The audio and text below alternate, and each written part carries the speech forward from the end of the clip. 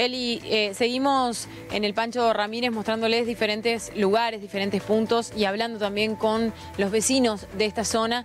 Seguimos, cuando hablábamos al principio les decía que nos recomendaron manejarnos por determinados lugares por el peligro de lo que implica y porque, claro, a mis espaldas Sí. Continúa el barrio y es para donde más eh, profundo se encuentra el agua, es decir, que son los lugares más afectados o donde el agua ingresó más alto a los domicilios. De hecho, fíjate que de la cuadra anterior a esta, el agua a mí ya me llega arriba de las botas y tan solo caminamos unos 50 metros, no más de eso. Así que calcula de acá para atrás, para mis espaldas, eh, cómo va eso aumentando. Nos hablaban de que incluso había lugares donde el agua había llegado hasta la zona del pecho de las personas, motivo por el cual los vecinos muy amablemente nos recomendaron que nos acerquemos hasta acá, que no nos movamos mucho más de esto. Sí. Seguimos mostrándoles lugares, nos siguen abriendo las puertas para dar cuenta de la situación que se atraviesa y queremos ingresar a un lugar más. ¿Cómo les va? ¿Cómo andan? Fíjate cómo, antes de entrar acá, gira un poquito la cámara, fíjate cómo van caminando. Les robo un segundito, estamos en vivo. ¿Hacia dónde se dirigen? a la, a la casa ahí. ¿Hasta dónde ingresó el agua en sus domicilios? Y todo adentro, hasta la cocina. Se lo mojó todo, colchón, eh, silla, mesa, todo, se lo mojó todo. ¿No pudieron salvar nada? Y no, lo poco, lo poco, la, alguna cubija nomás para dormir esta noche. Ah, ¿De dónde vienen ahora? ¿De dónde venían? Venimos de, venimos de un merendero que era para los inundados Mm. y conseguimos un poquito de ropa para los nenes y comida llevamos porque tengo otro- otras nenas más en casa. ¿Los asistieron con eso por lo menos por ahora? Sí, sí, con eso. ¿Les dijeron que mañana pueden volver? ¿Cómo se manejaron con el merendero? ¿Cómo, cómo les llegó la, la posibilidad? Eh, por el FEI, habían puesto en el FEI, entonces fuimos, fuimos para ahí. ¿Cuántos niños son en la casa? Eh, tengo siete, siete chicos y nosotros dos grandes. Ellos te acompañaron ahora a buscar parte de ropa seca y comida y los demás se quedaron. Sí, las nenas quedaron allá en casa. Allá en la esquina vivo. Imagino la tristeza, ¿no? Ante esta situación, teniendo tantos niños. Primera vez que nos pasa, nunca nos pasa. ¿Y cómo ¿Hicieron algo? ¿Les van a brindar algún tipo de ayuda extra? Le pedimos colchón, todas esas cosas, pero no iban a ver a ver qué, qué podían hacer. ¿Y para dormir, dónde van a pasar la noche? Y vamos a tener que pasar ahí, en que sea arriba una cama, o con poca cubija que lo quedó. Muchísimas gracias. Gracias igualmente. Gracias. Eli, vamos buscando testimonios porque nos parece muy importante escuchar cada una de las voces eh, ante esta situación tristísima que se está atravesando. Fíjate cómo se retiran, fíjate hasta dónde les llega el agua a medida que No, van sí. ingresando a la cuadra. Eso eh, se están dirigiendo hacia donde recién me encontraba parada yo, como para que tomen dimensión de desde acá, desde donde nosotros nos encontramos, hacia adentro, cómo está la situación. Vamos a ingresar acá. ¿Cómo le va? ¿Cómo es su nombre? José Luis Ceja, ¿Cómo se llama el señor? eh, re- Ram- eh, José Lorenzo Peralta. Usted me decía que vino acá y se encontró con esta situación, digamos, que no es de acá. sí, yo vengo a pasear siempre acá y bueno, y ahora me tocó esto y bueno, vine a visitarlo él porque como él está acá ahora, mamá falleció y entonces nos encontramos con esto. Vamos a ingresar, si nos permiten, Eli, para mostrarles acá. Hablábamos fuera de cámara, nos contaban que no pudieron salvar prácticamente nada. Eh, se les dificultó mucho porque al ser dos personas y el agua haber ingresado tan de golpe, eh, no, no tenían fuerza, por supuesto, para levantar por ahí colchones, para levantar muebles. Hay muchos muebles que son de madera, o sea que ellos ya lo dieron por perdido. ¿Cuántas cosas se perdieron acá? Y eso ya prácticamente ya no, no, no, cosas no. Viste que cosas me también toca mirar entre la pieza. Mirá, la- mirá mirá lo que te ya no, no. Ahora vamos a ingresar a la pieza a mostrar. Eli, fíjate que la ladera también, ¿no? La ladera- toda la ladera tiene agua también. Sí. Ah. ¿Cómo?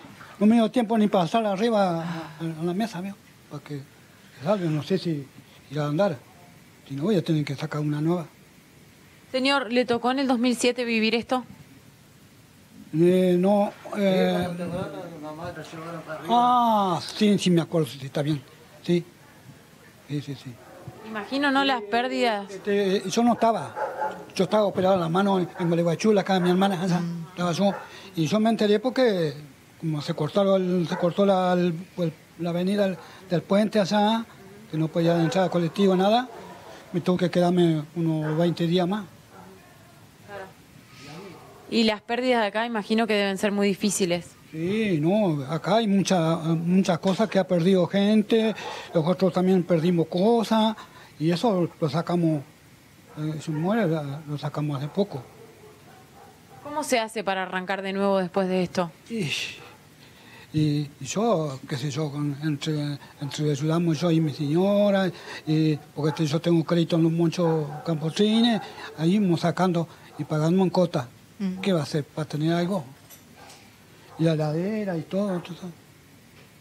Eli, vamos a entrar al dormitorio para que vean. Nos contaban que no pudieron salvar el colchón. No, no, el colchón se le mojó a él todo. Esta es la pieza de él. Esta es la pieza ¿Y de él, para que ustedes se den una idea, fíjense. Lo tuvo que levantar porque, mirá. Se levantó un solo colchón, eh, lo, lo levantaron, pero ya por supuesto el agua había llegado. Eh, pero fíjate cómo está la habitación en, esta, en este domicilio. Una camita para dormir ahí porque si no, Una camita con cobijas. ajá, con, con brazada. Por las frazadas se tiene que hacer la cama a este hombre hoy a la noche para ¿Cuántos poder dormir. ¿Un colchón les quedó eh, sin agua o no? Sí, sí, tengo yo uno ahí. ¿Viste? Que quedó está seco, pero. ¿Viste? Y ahí vamos a ver si nos, nos vamos, vamos a compartir, o sea. ¿Viste? Eh, Hacer una camita entre todo, entre la frazada, entre todo lo que se pueda. Sí, yo tengo un colchoncito, pero lo que pasa es que como tiene la gama muy bajita, ¿viste? Se le vamos de vuelta, ¿viste? Y bueno, de alguna manera no. Claro, no les queda absolutamente nada. sí. ¿Cuántos años tiene, señor? Yo tengo 78. 78 años y mañana, o sea, hoy no se va a dormir, mañana hay que esperar a que no llueva, hay que transitar todas estas angustias. Ojalá que no llueva más. ¿Qué le genera por ahí? Ah, Recién veíamos su, casa, ¿no?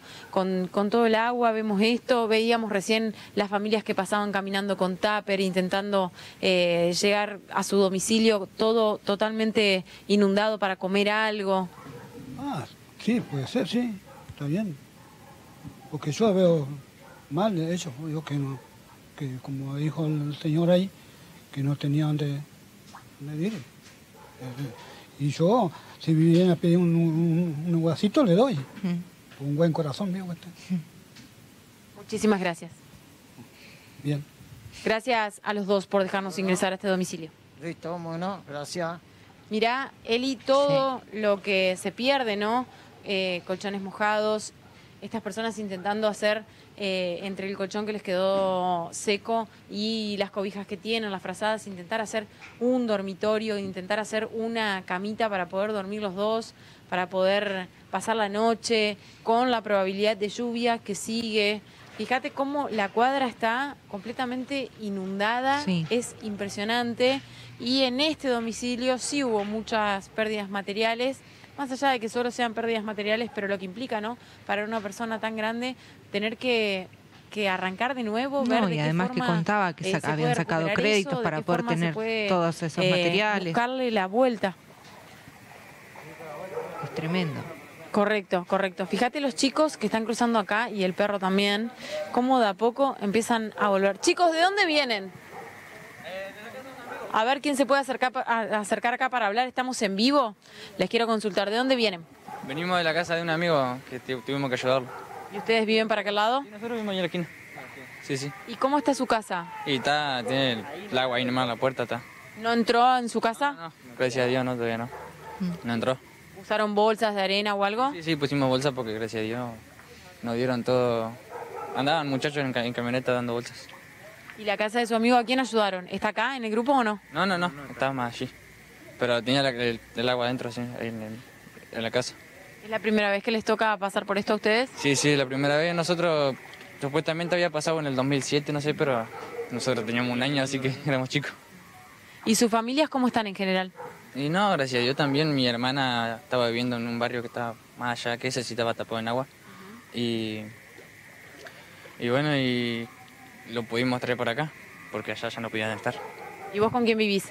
Eh, con mis padres están acá, están ahí en la esquina, en el kiosco ese que está ahí. Estamos viviendo nosotros ahí.